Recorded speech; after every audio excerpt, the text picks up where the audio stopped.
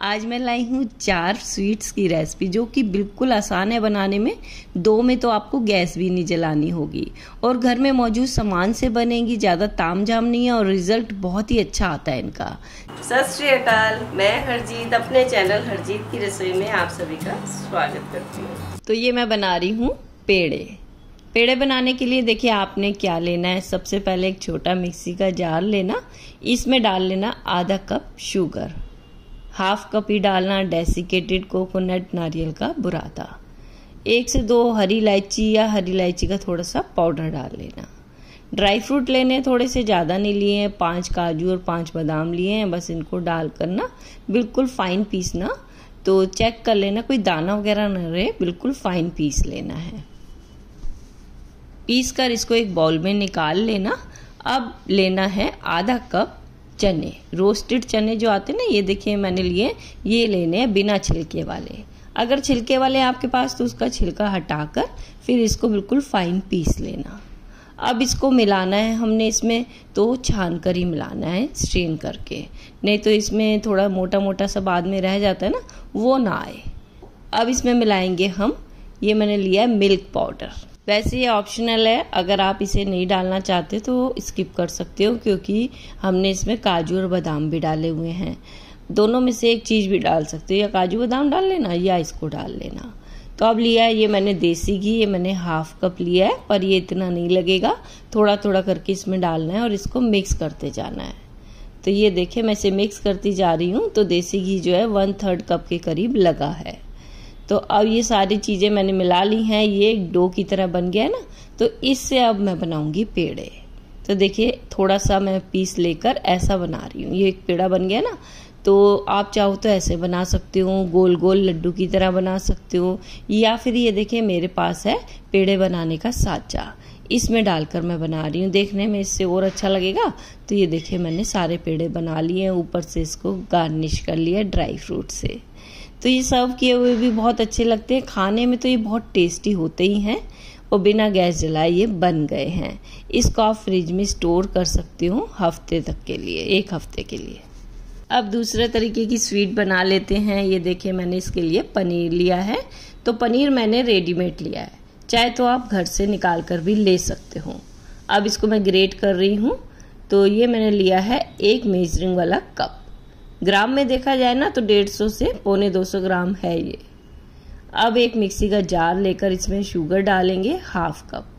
तो शुगर आप थोड़ी कम ज़्यादा अपने स्वाद के अनुसार कर सकते हो। एक हरी इलायची डाल रही हूँ। अगर हरी इलायची का पाउडर है ना तो वो डाल लेना। और इसमें जो पनीर हमने ग्रेट किया ना, उसको डाल देंगे। अब इनको पीसना है ना तो इसमें दूध या पानी कुछ भी नहीं डालना है। ऐसे ही बिल्कुल फाइन पीसना है और ऐसा पीसना है कि जो शुगर है, उसका कोई दाना ना रहे और पनीर भी बिल्कुल स्मूथ हो जाए। तो ये देखिए मैंने इनको पीस लिया है, बिल्कुल ऐसा ही आपने इसको पीसना है। कढ़ाई में एक चम्मच मैंने डाला है देसी घी। इसमें जो पनीर पीसा है ना, इसको डाल देंगे। तो इसमें शुगर भी है तो थोड़ा बहुत इसका पानी भी अभी छूटेगा, थोड़ा सा ही लिक्विड हो जाएगा। तो इसको डेढ़ दो मिनट बस पकाना है और डेढ़ दो मिनट के बाद अब मैं इसमें मिला रही हूँ काजू का पाउडर दो से तीन चम्मच के करीब, तीन चम्मच तक मैं डाल दूँगी। इसको डालकर भी दो मिनट पकाया है। अब इसमें जाएगा मिल्क पाउडर दो चम्मच डाल रही हूँ। इसको डालने से ना बहुत अच्छा टेस्ट आएगा। वैसे अगर आप इसे नहीं डालना चाहते ना तो स्किप कर देना। बस फिर आपने ये ख्याल रखना है कि इसको आपने थोड़ी ज़्यादा देर पकाना है, जब तक कि ये थोड़ा सा डो की तरह ना हो जाए। इसका जो वो लिक्विड है ना, पानी सा है, वो सूख जाए। तो अब ये देखिए एक आध मिनट और पकाया है तो इसमें जो है डो की तरह बनने लग गया है। थोड़ा सा इसका पानी वगैरह सूख गया है ना तो ऐसा जब हो जाए और कढ़ाई छोड़ने लग जाए तो वो गैस बंद करके इसको निकालना है। अब ये डो ठंडा हो गया है। चाहे तो आप इसे लड्डू बना सकते हो, मेरी तरह बर्फ़ी बना सकते हो। तो मैंने इसे थोड़ा सा स्मूथ भी कर लिया है हाथ से तो इसे मैं रख रही हूँ प्लेट पर। बटर पेपर मैंने नीचे लगाया है। चाहे तो थोड़ा सा घी लगा कर भी रख सकते हो। तो अब मैं इसको शेप दे रही हूँ। देखिए, आप इस तरह से शेप देकर इसको फ्रिज में रखना है पंद्रह मिनट के लिए सेट होने के लिए। तो अब ये पंद्रह मिनट में सेट हो गई है। इसके ऊपर मैं चांदी का वर्क लगा रही हूँ। तो वर्क भी ज़रूरी नहीं है लगाना। आप ड्राई फ्रूट लगा सकते हो और इसको आप कट कर लेंगे। तो ये देखिए, आप कितनी अच्छी बर्फ़ी बनी है। खाने में भी ये बहुत टेस्टी बनती है। तोड़ कर भी मैं दिखा रही हूँ। तो आप इसे त्यौहार में बना सकते हो। अब बनाएँगे सेवियाँ से स्वीट, बिल्कुल यूनिक सी स्वीट है ये। तो इसके लिए मैंने दूध वाली सेवियाँ ली हैं। जो पतली वाली होती है ना, ये बॉम्बिनो की हैं। इसको बिल्कुल बारीक सा तोड़ लेना हाथ से। और लेनी है ये एक कप। तो ग्राम में देखा जाए तो हंड्रेड ग्राम है ये। तो अब लेना है एक पैन। इसमें मैंने डाला एक चम्मच देसी घी और इसमें डाल लेंगे बॉम्बिनो की ये सेवियाँ। इसको अच्छी तरह से बस रोस्ट करना है। ये रोस्ट हो जाती है फटाफट से। हो गई हैं तो इसको निकाल लेते हैं और अब इसी पैन में डाल लेंगे आधा कप डेसिकेटेड कोकोनट। इसको भी रोस्ट करेंगे। तो इसको रोस्ट करने में आपको कुछ सेकंड ही लगेंगे बस। ये भी हो गया तो इसे भी सेम प्लेट पर निकाल देते हैं। अब पैन में डाल लेंगे डेढ़ cup milk, one and half cup. तो ये जो मैंने मिल्क लिया है, ये टोन्ड है। अगर आपके पास फुल क्रीम हो तो फुल क्रीम डाल लेना। तो दूध में बॉईल आने के बाद मैं इसमें दो चम्मच फ्रेश क्रीम यानी कि मलाई डाल रही हूँ। वो इसलिए डाल रही हूँ क्योंकि जो दूध लिया है वो टोंड है थोड़ा सा थिक हो जाए। अगर फुल क्रीम लोगे ना तो इसे डालने की ज़रूरत नहीं होगी। तो अब दूध में बॉईल अच्छी तरह से आते जा रहे हैं तो इसमें थोड़ा सा हरी इलायची का पाउडर डाल देते हैं फ्लेवर के लिए और साथ में डाल देंगे इसमें sugar one third cup sugar आप थोड़ी कम ज़्यादा कर सकते हो। थोड़ी देर बस इसको पका लेंगे। तो देखिए आप, ये थोड़ा सा रिड्यूस हो गया है दूध।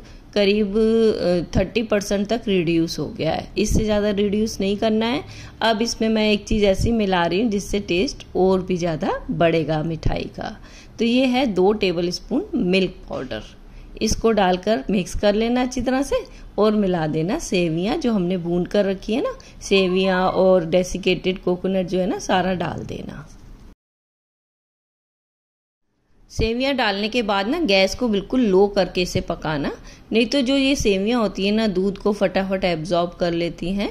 तो लो फ्लेम में पकाएँगे तो थोड़ी देर लगेगी दो तीन मिनट लगेंगे तो सेवियाँ भी अच्छी तरह से गल जाएँगी। अब दो तीन मिनट के बाद देखिए थिक होने लग गया ना तो इसमें थोड़े से ड्राई फ्रूट डाल देना, जो आपको पसंद हो। डालकर इसको थोड़ा सा पकाना पड़ेगा और ये डो की तरह तो बन ही गया है। पैन को इसने छोड़ दिया है तो गैस बंद कर देते हैं और इसको निकाल लेंगे। ठंडा होने पर इसको आप कोई भी शेप दे सकते हो। आप चाहो तो इसे बर्फ़ी की तरह जमा भी सकते हो, लड्डू भी बना सकते हो, पर ये मैंने लिया है कुकी कटर। इससे मैं बना रही हूँ आज मिठाई। ये देखिए आप। कितनी अच्छी इसकी शेप आ रही है। तो ये सारी मैंने बना ली है। ऊपर ऊपर से इसे मैंने गार्निश कर लिया थोड़ी सी चेरी लगाकर। तो इसको आप किसी भी गेस्ट के सामने सर्व करेंगे ना तो बहुत ही सबको पसंद आती है। खाने में भी ये बहुत टेस्टी बनती है। अब बनाएँगे कोकोनट स्वीट इसके लिए आपने लेना है डेसिकेटेड कोकोनट या फिर फ्रेश नारियल को भी ले सकती हूँ ग्रेट करके। वन एंड हाफ़ कप मैंने लिया है। इसमें मैं डाल रही हूँ one third cup powder sugar half cup जाएगा मिल्क पाउडर मिल्क पाउडर आप किसी भी ब्रांड का ले सकते हो। मैंने डेरी वाइटनर लिया है। थोड़ा सा मैं इसमें केवड़ा सेंस डाल रही हूँ। इसकी जगह आप हरी इलायची का पाउडर भी डाल सकते हो। अब इसको मिक्स करना है सारी चीज़ों को और इसका डोसा तैयार करने के लिए इसमें मिल्क जाएगा। तो मिल्क रूम टेम्परेचर का ले लेना। तो एक साथ ज़्यादा नहीं डालना क्योंकि इसमें मिल्क जो है बहुत थोड़ा थोड़ा करके डालना। थोड़ा सा ही यूज़ होता है। मिल्क ज़्यादा इसमें मिल जाए ना, गीला हो जाए तो आप इसमें थोड़ा सा सूखा नारियल का बुरादा मिला लेना। अब ये तैयार हो गया डो तो इसको मैं दो पार्ट में डिवाइड कर रही हूँ। क्योंकि मैं दो कलर की स्वीट बना रही हूँ। अगर आप एक ही कलर की बनाना चाहते हो तो ऐसे ही बना सकते हो। एक पार्ट में मैं मिला रही हूँ पिंक कलर। खाने वाला फ़ूड कलर जो होता है ना, वो डाला है। आप कोई भी और कलर इसमें डाल सकते हो।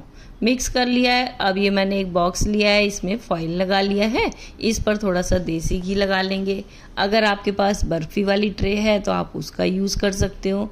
इसमें पहले मैं डाल रही हूँ वाइट वाला पार्ट स्पैचुला से थोड़ा थोड़ा दबा लेंगे और इसके ऊपर अब पिंक वाला पार्ट डालकर थोड़ा सा इसको दबा लेंगे। तो इसको अब जमने के लिए छोड़ना है। चाहे तो स्लैब पर ऐसे ही छोड़ दें, चाहे फ्रिज में रख दें पंद्रह मिनट के लिए। अब पंद्रह मिनट में ये जम गई है तो इसके पीस कट कर लेंगे। शेप आप इसकी कोई भी दे सकते हो। इसके ऊपर अब मैं गार्निश कर रही हूँ, लगा रही हूँ चांदी का वर्क चाहे तो आप कोई ड्राई फ्रूट भी लगा सकते हो। ये इंस्टेंट सी कोकोनट बर्फ़ी बनकर तैयार हो गई है।